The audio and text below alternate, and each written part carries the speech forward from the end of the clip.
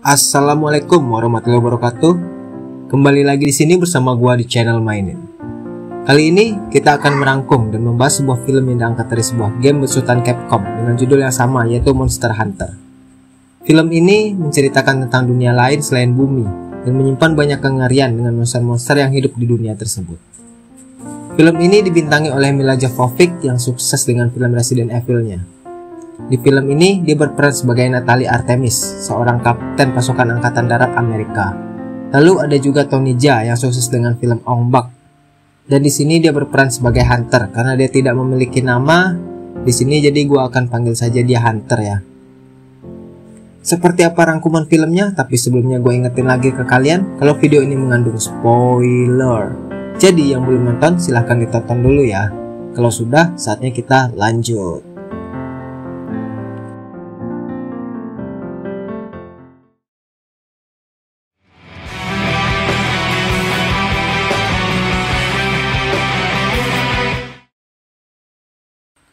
Film diawali dengan diperlihatkan sebuah kapal yang sedang melaju, namun bukan di lautan, melainkan di sebuah gurun, di mana mereka berada di sebuah dunia yang berada di sisi lain dari dunia di bumi.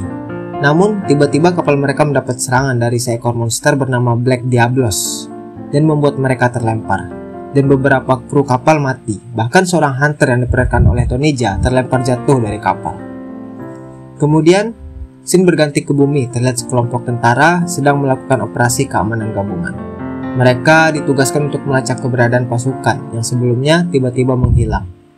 Tim ini dipimpin oleh Artemis, namun tiba-tiba datang sebuah badai besar saat mereka bertugas dan membuat mereka terhisap ke sebuah portal misterius dan membuat mereka terlempar ke sebuah dunia lain.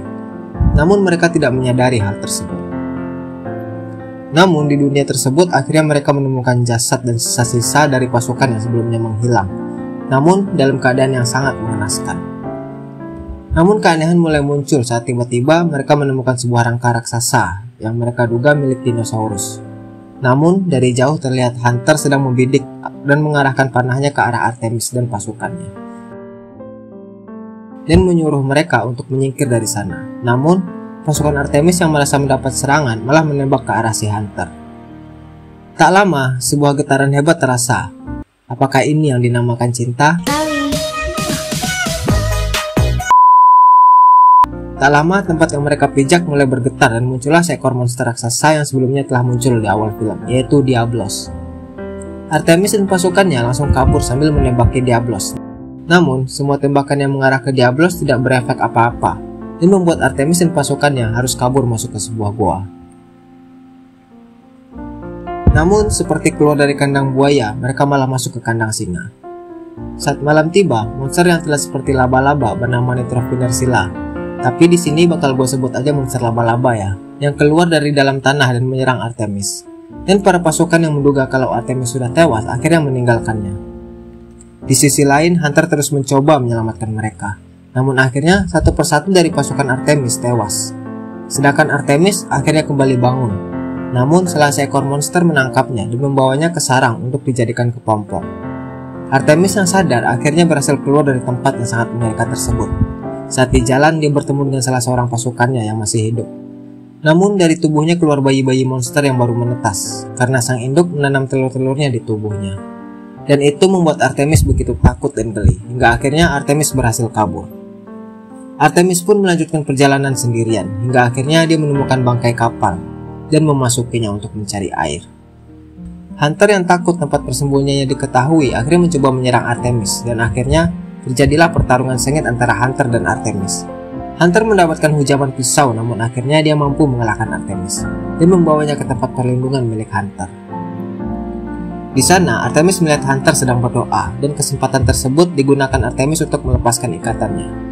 Keesokan harinya, Hunter keluar dan melihat keadaan di luar. Namun saat kembali ternyata Artemis sudah lolos dan mengajar Hunter dengan balon. Akhirnya Hunter pun diikat. Artemis yang kesal melempar balok ke arah tempat Hunter sebelumnya berdoa dan membuat Hunter begitu marah. Dan terjadilah pertarungan kedua antara Hunter dan Artemis dan membuat mereka jatuh dan Hunter masuk ke lubang tempat sarang monster laba-laba. Namun akhirnya Artemis membantu mengeluarkan Hunter dan dari sana akhirnya mereka memilih untuk berdamai dan saling bantu untuk keluar dari sana. Dan Hunter bertekad akan membantu Artemis kembali ke dunianya melewati badai yang sama yang membuat Artemis terjebak. Namun, untuk melewati Diablo, mereka harus mengalahkannya dulu dengan membuat racun dari monster laba-laba. Dan tercetuslah ide untuk membuat Artemis menjadi umpan untuk mendapatkan racun laba-laba. Malam pun tiba dan semua monster laba-laba keluar dan langsung mengejar Artemis. Dan Hunter pun berhasil membunuh monster laba-laba menggunakan The Great Sword berjenis Giant Jawblade setelah mereka berhasil mendapatkan racun dari monster laba-laba, mereka pun membuat jebakan di bangkai kapal sebelumnya dan mulai berlatih. Hunter memberikan sebuah senjata dan armor. Senjata tersebut bernama Dual Blade. Yang mana sedikit fan fact ya, sutradara Paul W.S. Anderson menginginkan untuk membuatkan senjata tersebut untuk Mila Jovovich. Karena sang sutradara yang memang penggemar game Monster Hunter ini juga senang menggunakan Dual Blade di karakter game miliknya. Mereka pun mulai berlari, setelah berhasil mengelabui Diablos, namun Diablos yang tahu akhirnya kembali mengejar mereka. Namun Artemis menyuruh berhenti dan berinisiatif untuk mengambil roket di bekas mobil yang sebelumnya ia gunakan. Dan Hunter menjadi umpan untuk mengelabui Diablos. Hunter pun mendapat serangan dari Diablos, namun akhirnya Hunter berhasil menembakkan panah yang beracun tepat di mata Diablos. Namun Diablos yang marah akhirnya menyerang Hunter dan Artemis pun menembaki Diablos, hingga akhirnya Diablos menyerang Artemis. Dan Hunter pun kembali dan berhasil menancapkan The Great Sword tepat di kepala Diablos. Dan Diablos pun melempar Hunter sehingga Hunter menjadi sekarat. Namun Artemis yang melihat Diablos mulai sekarat langsung menggunakan slingshot swordnya untuk naik ke kepala Diablos dan berhasil menancapkan The Great Sword lebih dalam lagi dan membuat Diablos akhirnya mati. Kemudian Artemis mengambil sedikit kulit dari Diablos untuk dijadikan alas untuk menarik Hunter dan berjalan menuju badai.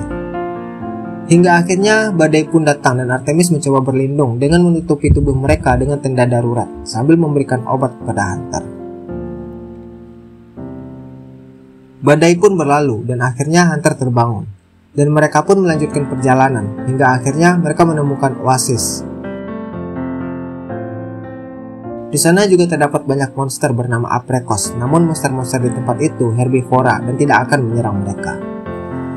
Malamnya, saat mereka sedang beristirahat, tiba-tiba ada seekor monster berjenis Elder Dragon bernama Ratalos, yang mana Ratalos sendiri adalah maskot dari gamenya sendiri, dan membakar kawanan Aprekos. Namun di antara Aprekos yang berlari, datang seorang pria dengan The Great Sword lain, yang mana ternyata dia adalah kepala atau kaptennya para hunter di kapal hunter sebelumnya, dan juga ada teman-teman hunter lainnya. Namun di tempat para hunter, Artemis malah dipenjarakan namun akhirnya dia mampu keluar melalui pintu di dasar kapal. Namun sang kapten akhirnya melepaskan Artemis dan menceritakan kalau ketakutan sebenarnya dari mereka adalah dunianya Artemis. Karena melalui sebuah menara langit, orang-orang zaman dahulu menggunakan untuk menyeberangi dua dunia. Di sana, sang Kapten Hunter pun memberitahu kalau monster pelindung menara bernama Ratalos. Ratalos hampir tidak bisa dibunuh, dan satu-satunya kelemahannya adalah sesaat sebelum menyemburkan api dan sang kapten menjanjikan Artemis untuk kembali ke dunianya setelah membantu mereka mengalahkan Ratalos. Saat fajar, mereka pun berangkat untuk bertarung melawan Ratalos. Sesampainya di menara langit, mereka langsung dihadang oleh Ratalos. Dan terjadilah pertarungan antara tim Hunter dan Artemis melawan Ratalos. Di sisi dekat, Artemis pun berhasil menghujamkan dual blade-nya ke tubuh Ratalos. Ratalos yang kesakitan berhasil melempar Artemis ke tepi jurang dan Ratalos pun menyemburkan api panasnya. Dan Artemis pun berhasil melompat ke jurang, yang mana di dasar jurang sudah terbuka portal untuk kembali ke dunianya. Hingga akhirnya Artemis berhasil selamat dan kembali ke dunianya. Tak lama terlihat helikopter penyelamat untuk menjemput Artemis. Para pasukan yang melihat armor Artemis pun sedikit bingung. Namun tak lama ternyata pesawat mereka mendapat serangan yang ternyata berasal dari Ratalos, yang juga berhasil masuk melalui portal ke bumi dan memporak-porandakan pasukan Angkatan Darat Amerika tersebut. Kemudian Artemis pun menggunakan slingshotnya menuju ke sayap Ratalos dan merobeknya, bertujuan agar Ratalos tidak lagi bisa terbang. Dan menembakkan peluru flare gun ke arah mulut Ratalos sesaat sebelum dia menyemburkan apinya, dan berhasil meledakkan tenggorokannya.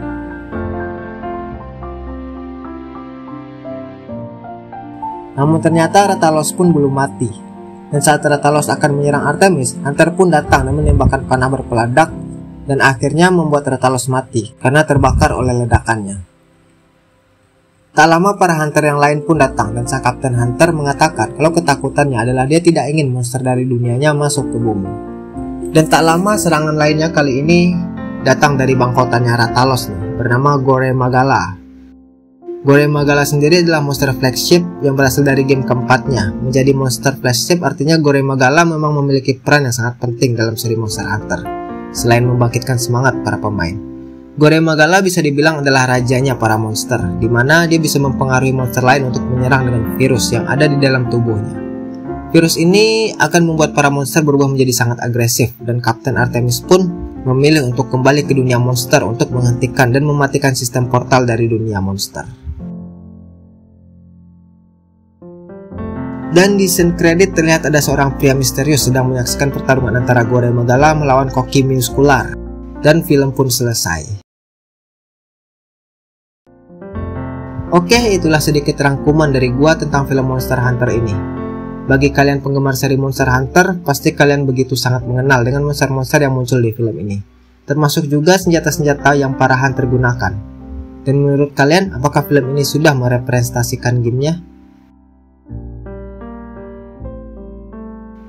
Terima kasih sudah mampir di channel Mining. Jangan lupa tinggalkan like, share juga ke teman-teman kalian, komen beserta kritik dan saran. Dan yang terpenting jangan lupa subscribe channel Mining. Saatnya gua undur diri dan jamatane.